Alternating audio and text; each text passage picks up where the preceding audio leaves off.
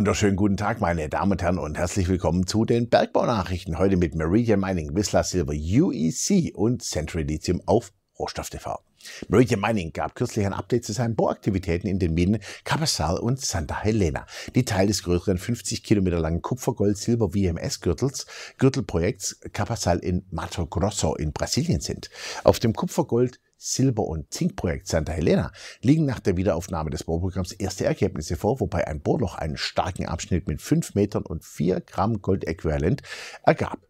Die Bohrungen werden fortgesetzt und weitere Ergebnisse stehen noch aus. Die Infillbohrungen auf dem fortgeschrittenen Projekt Capasal umfassen Bohrungen, die historische Positionen anpeilen, bei denen Daten verloren gegangen sind und die in der Ressourcenerklärung 2022, sprich Ressourcenschätzung, nicht enthalten waren. Die Bohrergebnisse, die Erweiterung der oberflächennahen Mineralisierung definieren, werden durch ein Bohrloch mit 10,1 Metern mit 2,1 Gramm pro Tonne Goldäquivalent hervorgehoben neben breiteren Abschnitten. Meridian hat nun über 50.000 Meter an Bohrungen bei Capasal abgeschlossen, wodurch sich die Projektdatenbank auf insgesamt über 125.000 Meter erhöht. Wer in Kupfer investieren will, sollte Meridian Mining sich anschauen.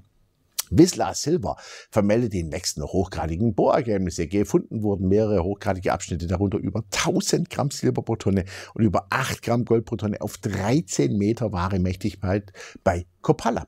Die neuen Bohrergebnisse des laufenden Infill-Programms bei Copala zeigen damit weiterhin eine hervorragende Kontinuität der hochgradigen Silber- und Goldmineralisierung.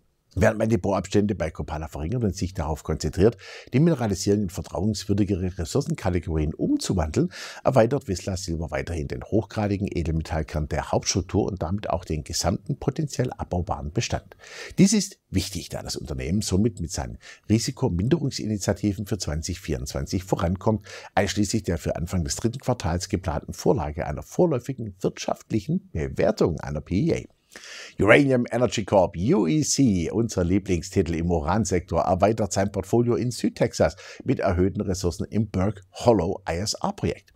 Im Anschluss an ein erfolgreiches Abgrenzungsbauprogramm seit der letzten Ressourcenaktualisierung am 12. August 2022 erhöht eine neue Zusammenfassung des technischen Berichts die gemessenen und angezeigten Ressourcen des Projekts Burke Hollow von 2,32 Millionen Pfund U3O8 auf 6,15 Millionen Pfund und die abgeleiteten Ressourcen auf 4,88 Millionen Pfund Uran.